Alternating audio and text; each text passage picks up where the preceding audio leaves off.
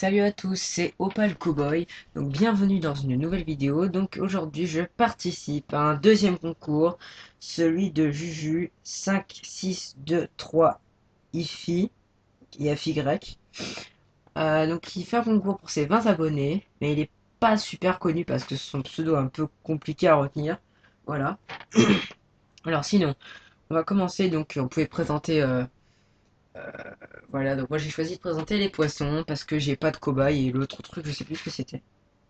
Alors, euh, d'abord, il faut présenter mon aquarium.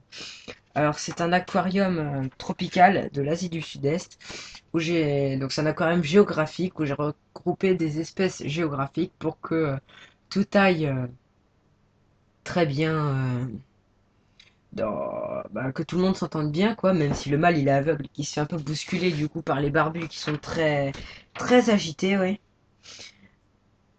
Donc euh, il y a plusieurs espèces euh, de poissons là-dedans. Donc euh, je vais vous présenter aussi donc les espèces et la nourriture. Donc alors on va commencer par les espèces. Alors ça c'est pas compliqué. Donc il y a trois gouramis miel. Donc il y a le mâle là-bas qui est aveugle. Ensuite il y a deux femelles là-bas. Je sais pas si vous voyez bien. On les voit il y a donc ce sont deux femelles et un mâle, six barbus, donc euh, des barbus, des barbus de Sumatra, pardon. Donc il y a un mâle qui est un peu difficile à différencier des autres et les restes sont des femelles. Donc il y a cinq femelles pour un mâle. Ensuite j'ai quatre culis. Alors les culis, est-ce qu'on va les voir? Parce qu'à mon avis ils sont encore bien cachés dans leurs plantes par ici ou par là, je ne sais plus. Voilà, ils doivent être cachés par ici. Mais comme ils sont tout le temps, tout le temps cachés à s'amuser. Là, il y en a un là-bas derrière la planche, je sais pas si vous le voyez. Un petit peu qui bouge, je peux vraiment pas faire mieux, je suis désolé. Pour les voir, donc ce sont quatre culis. Alors au niveau mâle et femelle, j'en sais rien du tout, je sais pas comment les différencier. Voilà, on le voit là qui passe. Hop, sous le caillou. On le voit un petit peu qui bouge là-bas sous le caillou blanc. Voilà, on voit sa tête qui dépasse. Donc ça, c'en est un. Donc voilà, donc je ne peux pas connaître euh, leur, euh, leur euh, sexe. Donc je ne sais pas du tout comment faire. Ensuite, en ce qui concerne les escargots, alors voilà, j'ai des escargots plyton comme ça. Comme là, qu'il y a sur le bord. J'en ai trois. Celui-là, c'est le mâle. Et il y a encore deux femelles. Après, j'ai plein de petits escargots comme ça qui sont un peu envahissants. Voilà, ce sont des escargots d'eau douce. Mais ils sont assez sympathiques parfois chiant mais sympathique. Sinon j'ai des crevettes. Alors les crevettes, alors il y a les deux crevettes bambou, vous avez énormément de chance, elles sont toutes les deux là. C'est pas souvent qu'on les voit la journée. Donc ça je sais pas du tout non plus, mâle ou femelle, j'en sais rien. Alors ensuite, donc j'ai les crevettes d'Amano.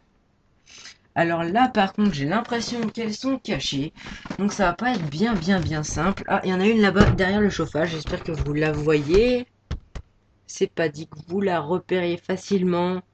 Je suis désolé. Tout au fond, elle est allée se cacher derrière le chauffage. J'espère que vous pouvez voir. Sinon, euh, faut regarder mes vidéos. Bah, il y en a une là, sur la feuille. Attendez, je suis pas sûr qu'on voit vraiment bien. Excusez-moi. Voilà, le petit machin qui bouge là, c'est une crevette. Voilà, qui vient de partir. Donc voilà, ça c'était pour la présentation des poissons. Je crois que j'ai rien oublié. S'il faut présenter les plantes, euh, bah je ne sais plus les noms. En tout cas, elles repartent bien depuis qu'il y a eu le petit incident dans l'aquarium, voilà. Ensuite, donc il fallait présenter la nourriture. Donc, comme nourriture, ça. Donc c'est du aimé poisson exotique. Voilà, donc ce sont des paillettes de nourriture que je leur distribue. Ça, c'est pour les barbus et pour les gouramis. Les escargots, ils se débrouillent. Ou alors, ils mangent des restes de pastilles. Que voilà, donc les pastilles. Nouveau crabes. Alors, ça, c'est pour les crevettes et pour les culis. Voilà, je vais en sortir une. Voilà, là, une. Donc voilà, ça, c'est pour la nourriture des crevettes. Donc voilà, maintenant j'ai présenté la nourriture, on passe au suivant, c'est-à-dire euh, donc présenter le décor et les objets que j'utilise le plus souvent. Alors ce que j'utilise le plus souvent, donc, le décor, alors là où il y a le filtre, tout au bout. Ici, ça là, c'est le nettoyeur de, de vitres à aimant. Ensuite, pour le décor, il y a plein de cailloux. Il y a là-haut derrière un gros caillou avec le bateau là. Et tout au fond là-bas derrière, on a une racine en bois. Voilà, ensuite après derrière, il y a le chauffage tout au bout. Et là, c'est le thermomètre. Donc voilà, ça c'est pour la déco. Ensuite, les objets que j'utilise assez souvent euh, dans mon aquarium. Alors, ça, je vais vous les montrer. Donc, euh, il y a certains objets, ça peut paraître un peu bizarre. Donc il y a l'épuisette forcément, puisque quand je dois attraper des poissons, je dois bien me servir de cette épuisette, forcément, vous l'imaginez bien.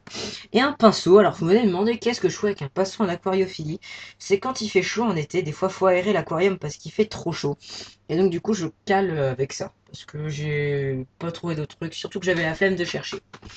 Une cale pour l'aquarium. Donc ensuite à part ça, sinon bah, il y a les médicaments. Donc ça c'est un de mes médicaments.